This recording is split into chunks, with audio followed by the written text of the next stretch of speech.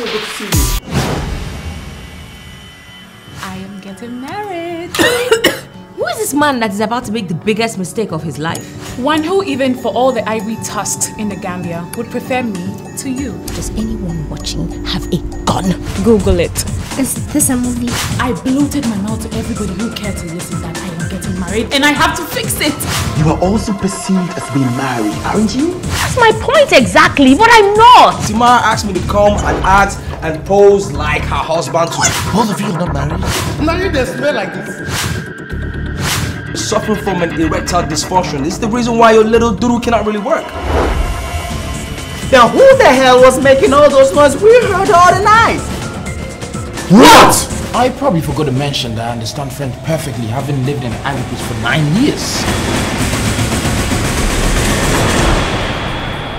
I know. eh.